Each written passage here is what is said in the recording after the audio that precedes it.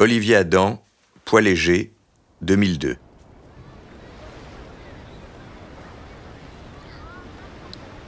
Il y avait aussi une photo de mon père en slip de bain debout sur un rocher. L'eau était couverte de reflets brillants.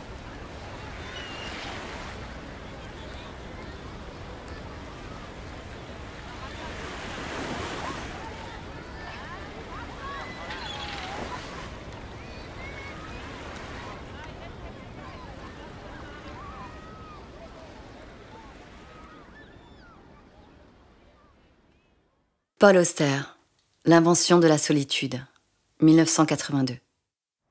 Une photographie subsiste de sa dernière visite à S, à la fin de ses années parisiennes, 1974.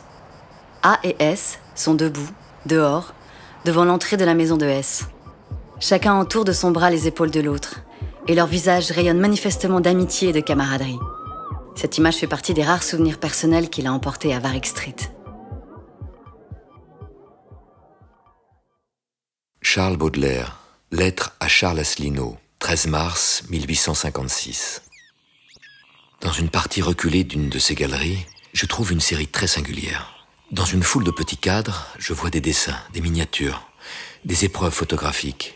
Cela représente des oiseaux coloriés, avec des plumages très brillants, dont l'œil est vivant. Frédéric Becbédé, 99 francs, 2000. En ce temps-là, on mettait des photographies géantes de produits sur les murs, les arrêts d'autobus, les maisons, le sol, les taxis, les camions, la façade des immeubles en cours de ravalement, les meubles, les ascenseurs, les distributeurs de billets, dans toutes les rues et même à la campagne. La vie était envahie par des soutiens-gorge, des surgelés, des shampoings antipelliculaires et des rasoirs triple lame. L'œil humain n'avait jamais été autant sollicité de toute son histoire.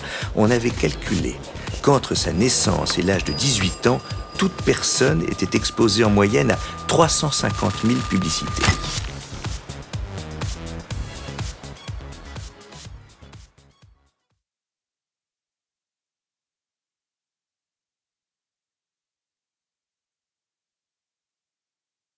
André Breton, Rêve, 1922. Au cours de l'après-midi, j'avais écrit un article qu'autant que je me rappelle, je trouvais peu profond mais assez brillant. Un peu plus tard, je m'étais mis à continuer d'écrire un roman. Cette dernière entreprise m'avait conduit à effectuer des recherches dans ma bibliothèque. Je me sentais en proie à une grande exaltation. Il me semblait qu'un livre d'observation médicale en ma possession m'apporterait sur la question qui me préoccupait une véritable révélation. J'y trouvais en effet ce que je cherchais. Une photographie de femme brune, un peu forte, ni très belle ni très jeune, que je connaissais vaguement. Charles Bukowski, Un carnet taché de vin, 1944-1990. L'une des photos l'avait achevé. Celle où Nina, complètement déloquée, ses cheveux sauvages et écarlates coiffés en arrière, son visage tourné vers le plafond et ses bras écartés, pisser partout. Plutôt stimulante comme photo en vérité, et même très stimulante.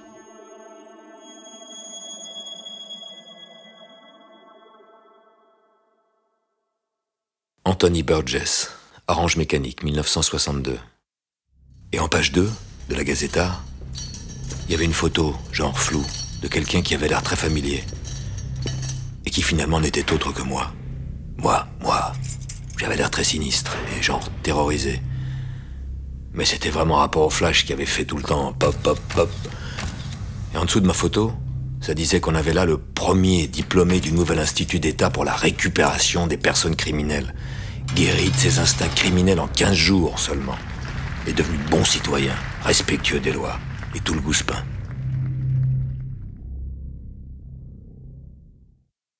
Raymond Carver, Fièvre, 1983.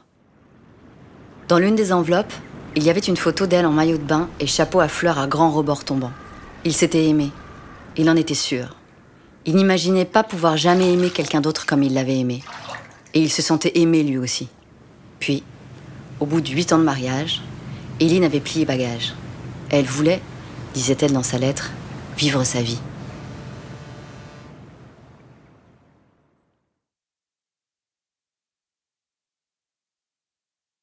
Champfleury, la légende du daguerréotype, 1863.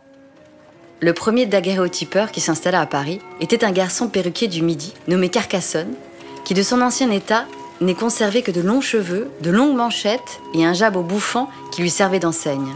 Mais il prit des attitudes d'homme inspiré et un peu fatal dans les nombreux portraits d'après lui-même qu'on voyait sous la porte cochère.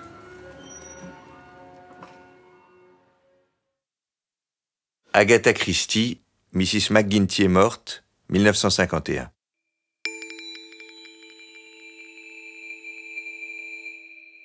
Pourquoi une femme garde-t-elle une photo quand elle était jeune? Et je dis que la raison première en est essentiellement la vanité. Elle a été jolie fille et elle garde une photo d'elle pour lui rappeler comme elle a été jolie fille. Cela lui donne courage quand son miroir lui dit des choses désagréables. Peut-être dit-elle à un ami C'était moi à 18 ans. Et elle soupire.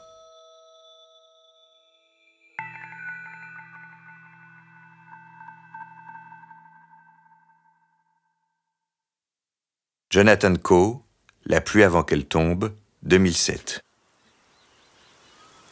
Sur cette photo, la caravane elle-même est plongée dans la pénombre par les frondaisons. On l'avait installée, allez savoir pourquoi, au fin fond du parc où elle était à l'abandon depuis des années. Cette photo est conforme au souvenir que j'en garde. Un véhicule bizarre, délaissé au bois pourri, au métal rouillé, minuscule, le cliché le confirme, je m'interroge, combien de semaines nous a-t-il fallu à Béatrice et à moi avant de décider d'en faire notre quartier général? Elle avait 11 ans, j'en avais 8, j'aurais suivi n'importe où.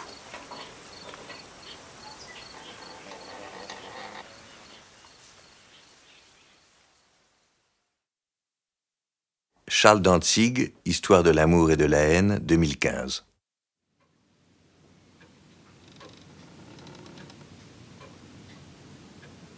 Anne regardait des photos de l'appartement de son père qu'elle avait pris après sa mort. En particulier la chaise où il se tenait toujours.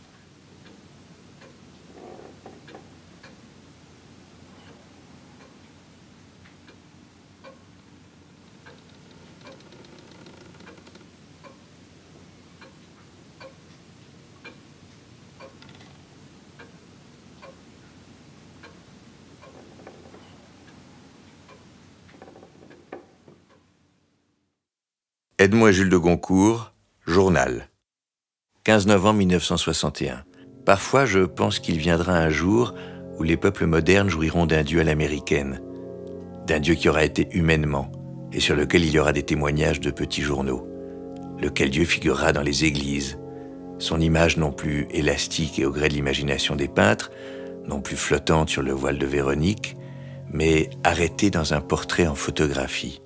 Oui, je me figure un Dieu en photographie et qui portera des lunettes. Camille de Peretti, Petits arrangements avec nos cœurs, 2014.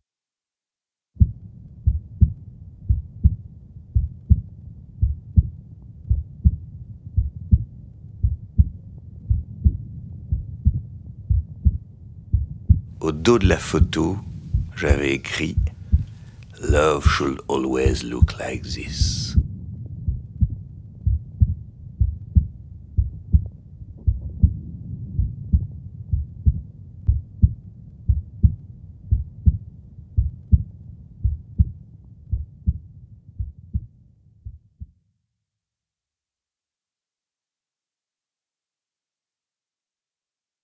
Fedor Dostoïevski, L'idiot, 1868-1869.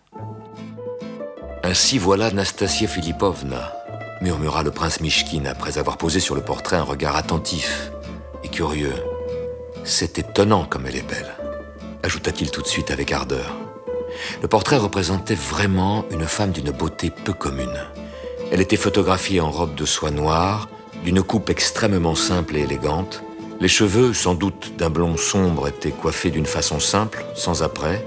Les yeux sombres, profonds, un front pensif, une expression passionnée, et comme hautaine, elle avait le visage un peu maigre peut-être, Et puis elle était d'une pâleur.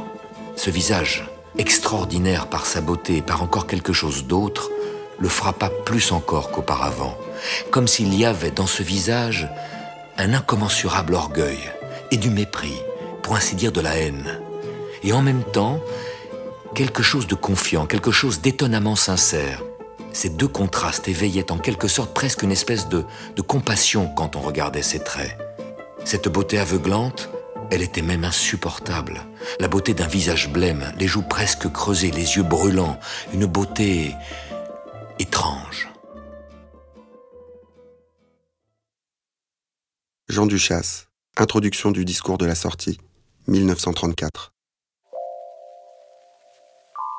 Je n'avais encore jamais rencontré Samuel. Je n'avais de lui que ces mots qui dessinaient sa pensée, et l'usage qu'il en faisait m'invitait à le penser comme une silhouette qui en laisse deviner, autant qu'imaginer, une vie derrière une autre vie.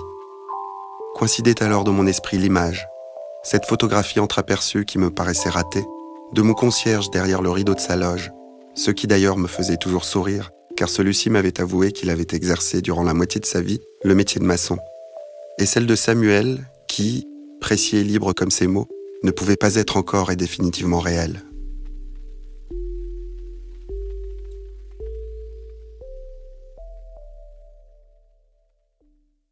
Brett Easton Ellis, Lunar Park, 2005. Je suis resté un long moment dans la chambre pour faire l'inventaire. Ce que je n'avais pas fait, je ne m'étais pas retourné. J'étais entré directement dans la chambre. J'étais resté là. J'avais pensé à mon fils et à ses mobiles. Je n'avais pas vu ce qui était derrière moi. Au début, je n'ai pas compris. Il m'a fallu un moment pour saisir. Quand je me suis retourné, j'ai vu, écrit à la main, sur la grande photo murale du terrain de skateboard désert, en énormes lettres rouges, disparaît ici.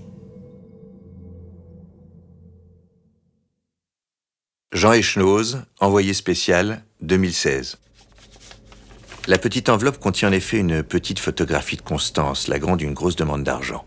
Constance a l'air surprise sur la photo. Elle esquisse un sourire incongru, son œil gauche est à demi fermé. La photo de Constance avait été prise juste après l'injection de Propofol, à l'arrière de l'utilitaire multiservice, après qu'on lui garait dans un parking souterrain de l'avenue Foch. L'abaissement de la paupière gauche, avant que le sujet perde conscience, est un effet secondaire de cette anesthésique usuelle à brève durée d'action. La récupération rapide du dit sujet étant un autre effet.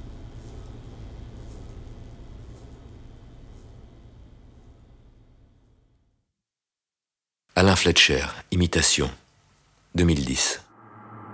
Je retrouve, sur la table où je l'ai laissé, mais déplacée par l'arrivée des nouveaux livres, l'enveloppe où j'avais cru contenu les photographies du travail de Van Laban, et qui en réalité en contient d'autres, comme je l'ai entrevue lorsqu'elle est tombée par terre après que Nell s'est jetée sur moi. J'examine maintenant ces images qui, aussitôt, me plongent dans un malaise. On y voit sur certaines une grande tablée d'officiers où je reconnais, mêlés, des uniformes nazis et des tenues de l'armée nationale. Sur d'autres, des chevaux gardés par un adjudant de cavalerie. Sur d'autres encore, des chiens bergers allemands tenus en laisse par des soldats. Enfin, quelques clichés montrent des femmes nues dans un paysage qui semble attendre misérablement dans le froid, cachant de leurs bras et de leurs mains le devant de leur corps. Il n'y a pas de trace d'un lien entre ces différentes photos. Des officiers attablés, apparemment éméchés et hilars, qui trinquent fraternellement le regard tourné vers l'objectif, ceux qui gardent des chevaux ou qui retiennent les chiens en laisse, et les femmes nues dans le paysage.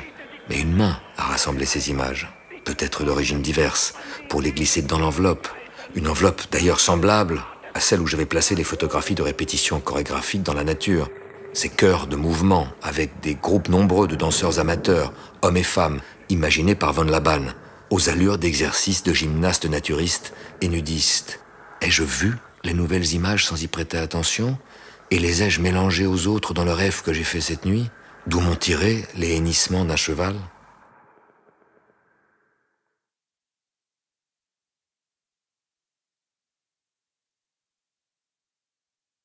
Philippe Forest, Toute la nuit, 1999. Une seconde photographie m'avertissait d'une coutume indienne dont j'ignorais tout avant de s'immoler sur le bûcher funéraire de leur mari, les veuves laissaient l'empreinte rouge de leurs mains sur le mur de la maison conjugale, et cette trace était tout ce qu'il restait d'elles.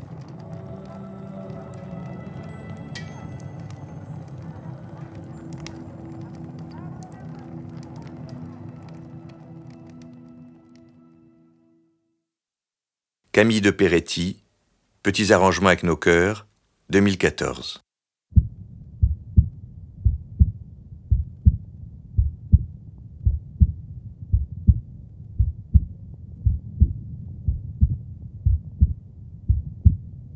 Au dos de la photo, j'avais écrit Love should always look like this.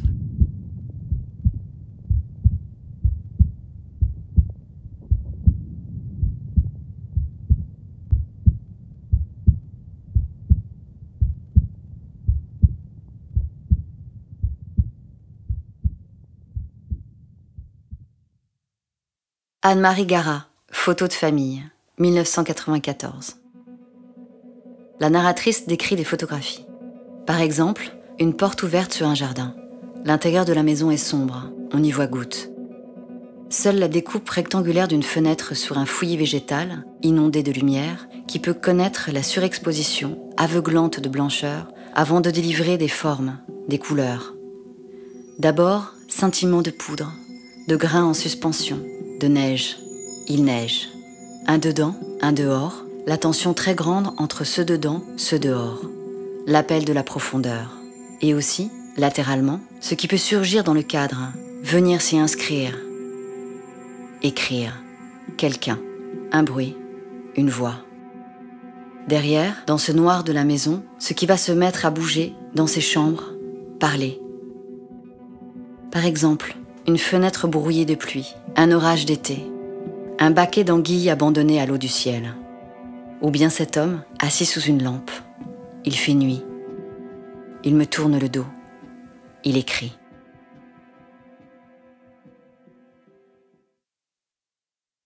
Jonathan Coe, La pluie avant qu'elle tombe, 2007. Sur cette photo, la caravane elle-même est plongée dans la pénombre par les frondaisons. On l'avait installée, allez savoir pourquoi, au fin fond du parc où elle était à l'abandon depuis des années. Cette photo est conforme au souvenir que j'en garde. Un véhicule bizarre, délaissé au bois pourri, au métal rouillé, minuscule, le cliché le confirme. Je m'interroge, combien de semaines nous a-t-il fallu à Béatrice et à moi avant de décider d'en faire notre quartier général? Elle avait 11 ans, j'en avais 8, j'aurais suivi n'importe où.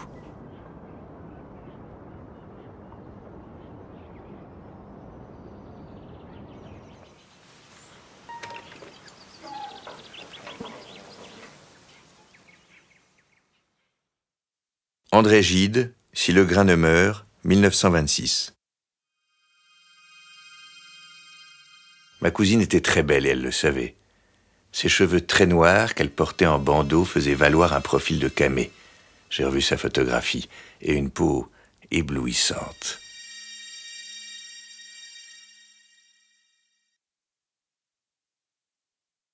Julien Green, Chaque homme dans sa nuit, 1960.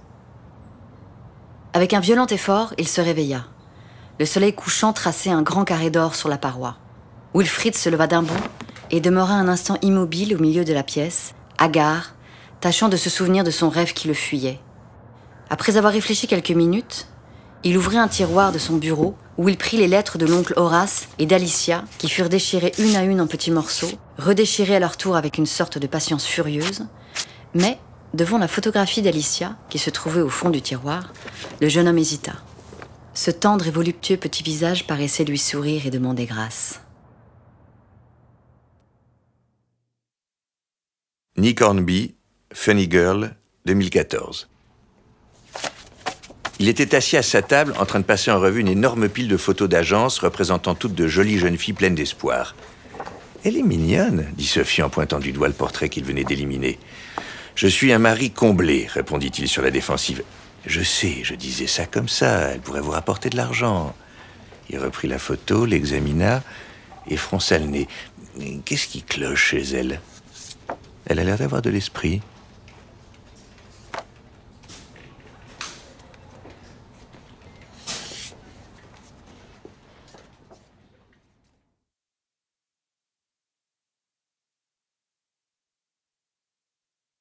Eugène Ionesco, Tueur s'engage, 1958.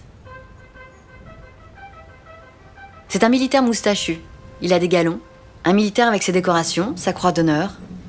Il a une bonne figure, une expression plutôt attendrissante.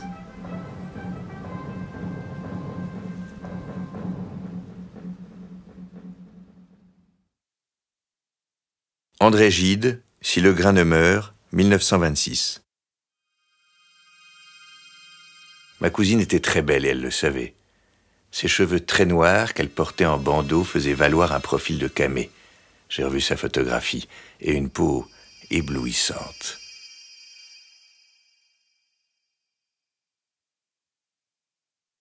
John Irving, Un mariage poids moyen, 1974. Elle regardait une photographie de sa mère avec Frau Reiner et les deux lutteurs yougoslaves. Il faisait les pitres à l'intention du photographe. Elle put constater que Frau Reiner, en tout cas autrefois, possédait un corps, car tout le monde sur la photo était nu. Il se tenait devant un dîner servi avec élégance, plusieurs entrées présentées sur la table en même temps. Ils brandissaient tous des couteaux et des fourchettes. Vasso, ou Zivan, avait mis une serviette sur sa tête, et entre les seins généreux de Frau Reiner, un verre plein de vin penchait dangereusement. Paraissant plus âgée et plus digne que les autres, la mère de Séverin, debout, souriait timidement à la caméra, les doigts modestement croisés sur le haut de ses cuisses. Camille de Peretti, Petits arrangements avec nos cœurs, 2014.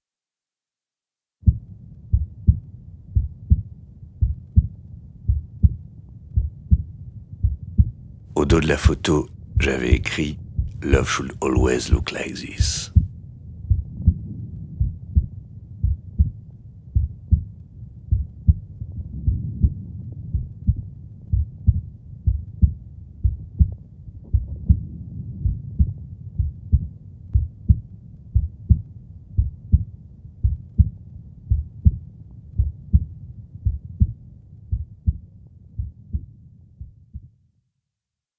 Franz Kafka, Le Château, 1926.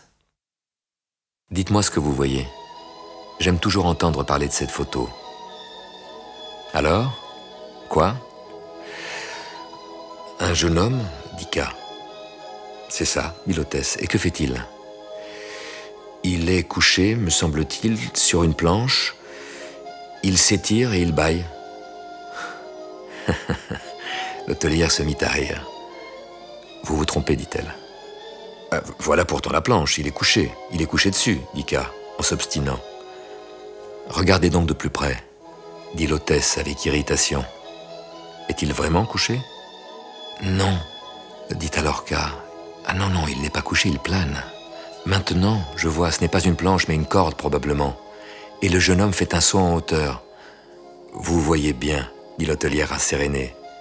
Il saute c'est l'entraînement des messagers officiels. Je le savais bien que vous le verriez. Jon Krakauer, Voyage au bout de la solitude, 1996. J'avais un livre qui contenait une photographie de Devil's Thumb, une image en noir et blanc prise par un spécialiste des glaciers nommé Mayna Miller.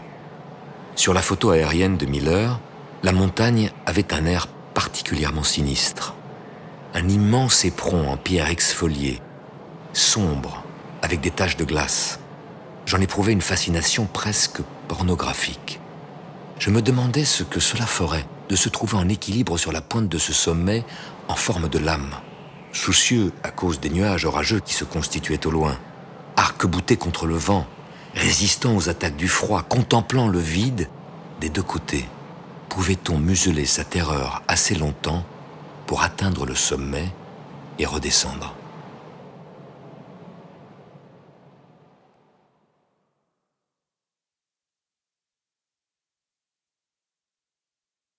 Éric Laurent, Un beau début, 2016. La jeune femme se tient de face, dans une posture déhanchée, la jambe gauche passée par-dessus la droite.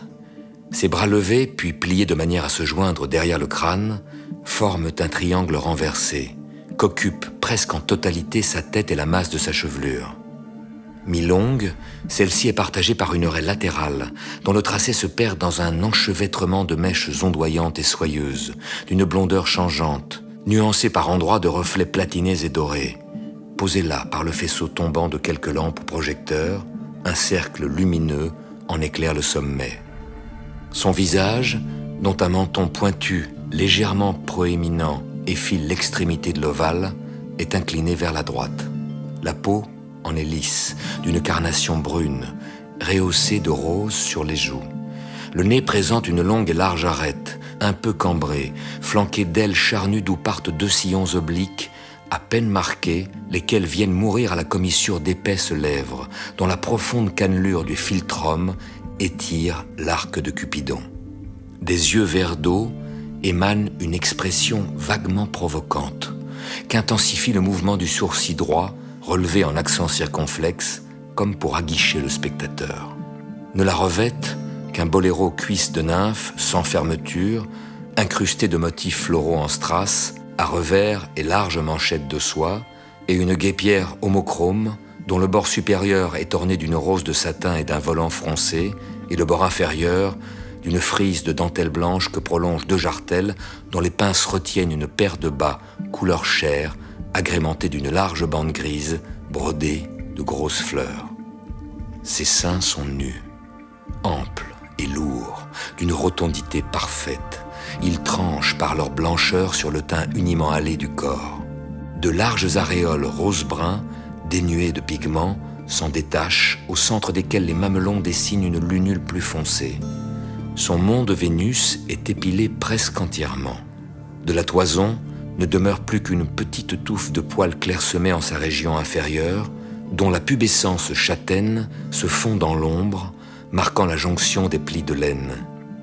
Une coiffeuse en acajou flammé est placée derrière elle, dont on ne distingue qu'une partie des tiroirs marquetés et une brève portion du cadre de son miroir pivotant.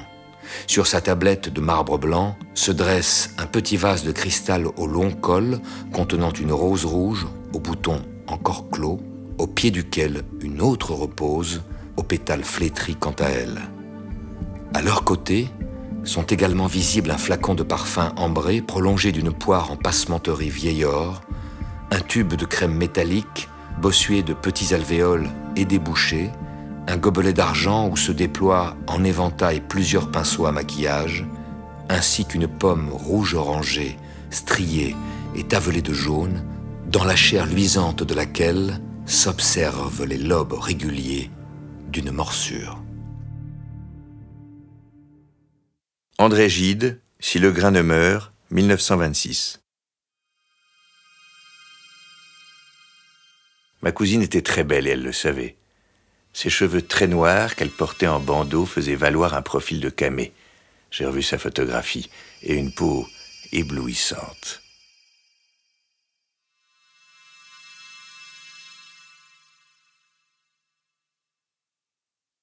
JMG Le Clésio, Désert, 1980. Le photographe ne cesse pas de photographier Awa. Il change d'appareil, il mesure la lumière, il appuie sur la détente. Le visage d'Awa est partout, il est dans la lumière du soleil, allumé comme une gloire dans le ciel d'hiver, ou bien au cœur de la nuit. Il vibre dans les ondes des postes de radio, dans les messages téléphoniques. Le photographe s'enferme tout seul dans son laboratoire, sous la petite lampe orange, et il regarde indéfiniment le visage qui prend forme sur le papier dans le bain d'acide. D'abord les yeux, immenses, taches qui s'approfondissent, puis les cheveux noirs, la courbe des lèvres, la forme du nez, l'ombre sous le menton. Les yeux regardent ailleurs, comme fait toujours la ailleurs, de l'autre côté du monde. Et le cœur du photographe se met à battre plus vite, chaque fois. Comme la première fois qu'il a capté la lumière de son regard au restaurant Les Galères, ou bien quand il l'a retrouvé plus tard au hasard des escaliers de la vieille ville.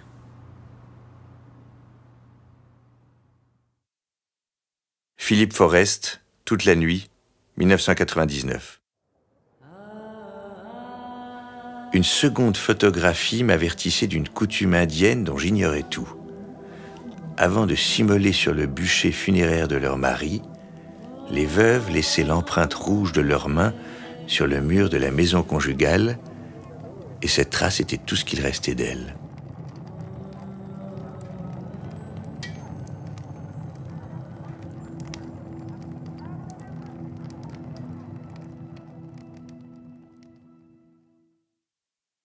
Michel Léris, Fibrile, 1968. Une photo reçue le jour même et qui m'avait fait voir la tombe de ma mère entièrement couverte de fleurs, masquant ses arêtes pierreuses et lui donnant l'aspect agreste d'un tumulus.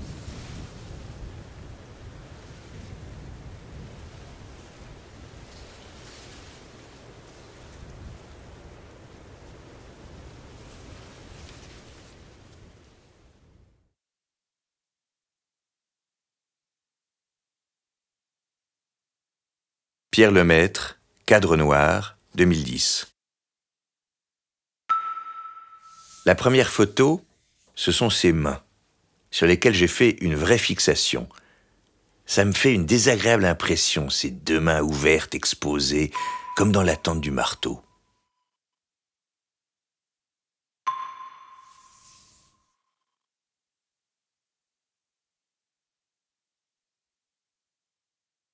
Camille de Peretti, Petits arrangements avec nos cœurs, 2014. Au dos de la photo, j'avais écrit Love should always look like this.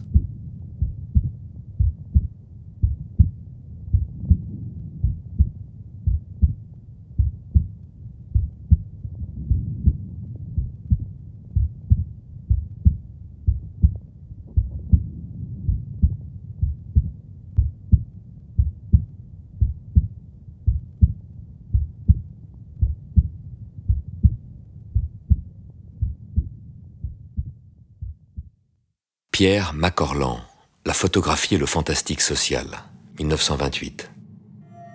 Dans le cadre d'une porte apparaît une jupe, une jambe de femme à laquelle la photographie prête l'apparence affreusement gênante de la cire peinte. L'image photographique peut être extraordinairement inquiétante si l'artiste le veut, plus inquiétante que la réalité. Car dans la réalité, il se produit ceci. La femme à la jupe et à la jambe mystérieuse franchit la porte et traverse la rue ce n'est plus qu'une femme comme mille autres femmes. La valeur littéraire du spectacle devient nulle. La plus grande force de la photographie, pour l'interprétation littéraire de la vie, consiste, à mon avis, dans le pouvoir qu'elle détient de créer la mort pour une petite seconde. Elle fait mourir tout ce qu'elle veut pour une durée si minime que les gens reviennent de l'au-delà sans avoir pris connaissance de leur aventure.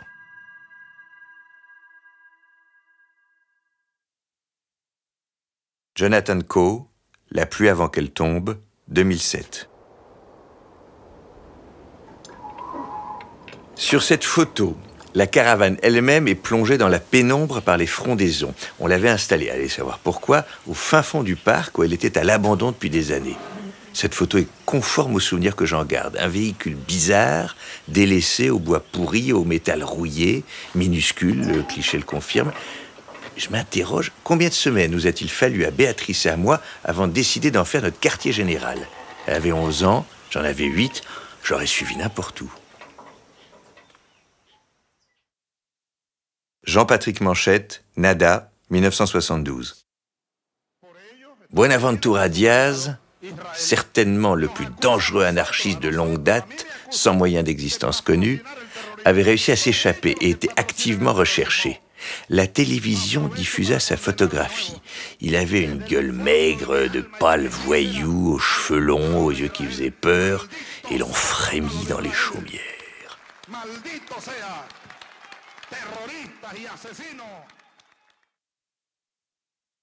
Pierre Lemaître, Cadre noir, 2010. La première photo, ce sont ses mains sur lesquels j'ai fait une vraie fixation. Ça me fait une désagréable impression, ces deux mains ouvertes, exposées, comme dans l'attente du marteau.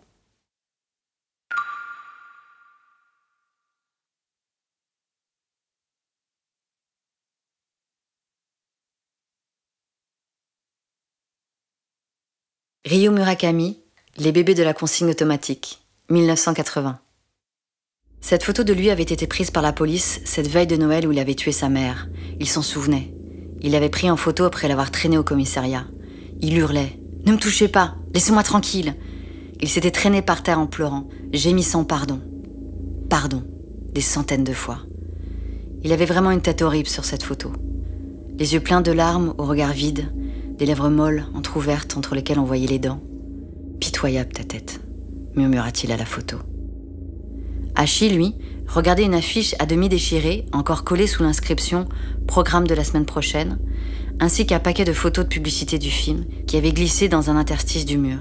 Les photos représentaient un étranger brandissant un revolver, une femme blonde ensanglantée allongée par terre, un baiser en gros plan, deux silhouettes de femmes à cheval dans le soleil couchant.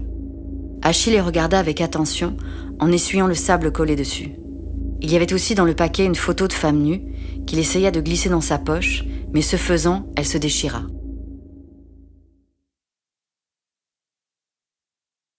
Marianne Diaye, Trois femmes puissantes, 2009. Il en sortit une petite photo carrée qu'il tourna vers Nora.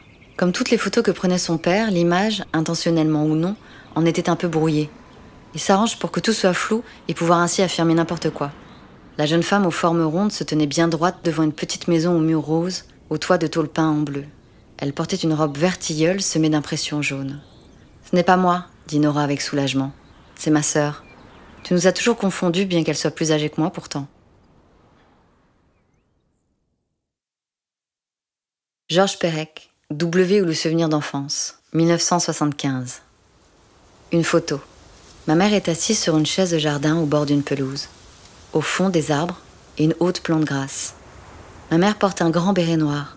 Le manteau est peut-être le même que celui qu'elle porte sur la photo prise au bois de Vincennes, à en juger par le bouton. Mais cette fois-ci, il est fermé. Le sac, les gants, les bas et les chaussures à lacets sont noirs. Ma mère est veuve. Son visage est la seule tache claire de la photo. Elle sourit.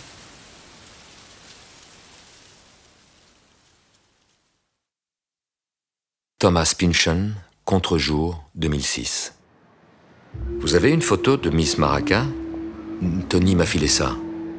Le jazzman ouvrit une mallette et tendit à Liu ce qui ressemblait à une photo publicitaire portant des traces de plis et de punaises, un de ces clichés sur papier glacé de format 20-25 comme on en voit dans les vitrines extérieures des petits nightclubs, avec des paillettes collées tout autour. Techniquement, elle souriait. Mais avec cette rigidité hollywoodienne qui, Liu le savait, cachait la peur d'une puissance extérieure. Une jeune femme tout à fait charmante, Mr. Lestreet. Nathalie Reims, L'ombre des autres, 2006. Elle se mit à feuilleter l'album. Une première photographie représentait une adolescente dans un fauteuil, les yeux clos. La suivante, un petit garçon avec un tambour, le regard fixe.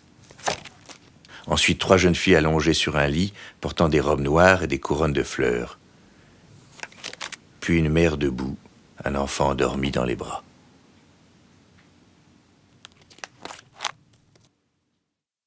Nathalie Reims, L'ombre des autres, 2006. Elle se mit à feuilleter l'album.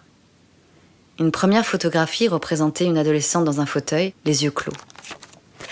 La suivante, un petit garçon avec un tambour, le regard fixe. Ensuite, trois jeunes filles allongées sur un lit, portant des robes noires et des couronnes de fleurs. Puis une mère debout, un enfant endormi dans les bras.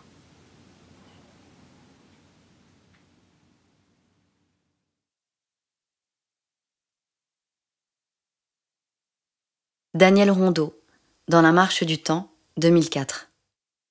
C'était un vieux cliché, pris au téléobjectif, mais qui, en dépit de son imperfection, ne scellait en rien les évidences et les mystères du personnage. Augustin avait longtemps tenté de déchiffrer ce portrait avec la patience active d'un géographe penché sur une carte sans toponyme. Il avait examiné les hachures des pas de doigts, caressé du pouce les méplats ombrés et gélatineux des joues, mesuré les ravins des rides autour de la bouche, suivi en rêvant les boucles bleues des veines sur les tempes. Son regard s'était promené sur les arêtes où s'enracinait la broussaille des sourcils, puis avait dévalé la pente du menton, cet éperon d'os dur grisé par la limaille de la barbe, avant de sonder les disques sombres des yeux au fluide si évident qui semblait le regarder avec insistance. Qu'est-ce qu'un homme, si ce n'est d'abord et avant tout un visage?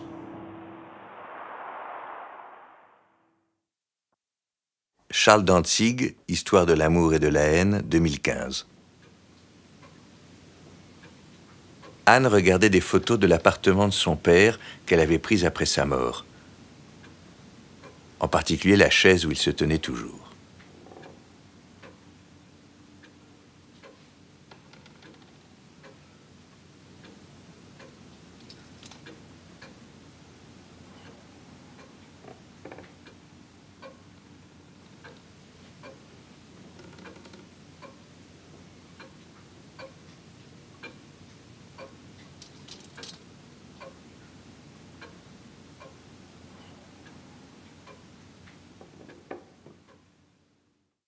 Sylvain Tesson, S'abandonner à vivre, 2014.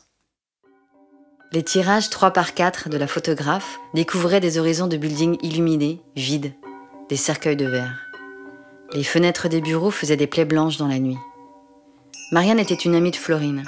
Jack et Marianne s'étaient retrouvés côte à côte à contempler la photo de Bangkok. Et il avait dit Vous ne trouvez pas ça déprimant? Quoi? avait-elle dit. Que nous vivions dans des cliniques. Ces villes ressemblent à des hôpitaux. Nous sommes malades. Je me sens bien, avait-elle dit. C'est ce que disent les plus atteints.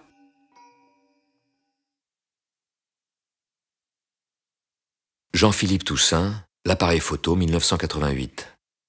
Sur un ferry, le narrateur vole un appareil photographique. Je n'avais pas eu l'intention de le voler. Non. Lorsque je l'avais ramassé, j'avais simplement eu l'idée d'aller le rapporter au caissier.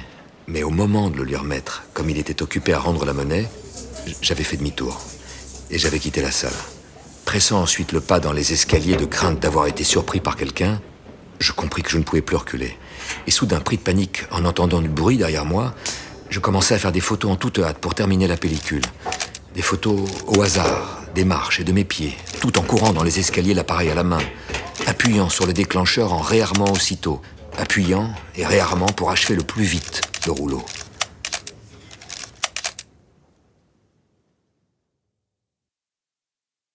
Pierre Lemaître, Cadre noir, 2010.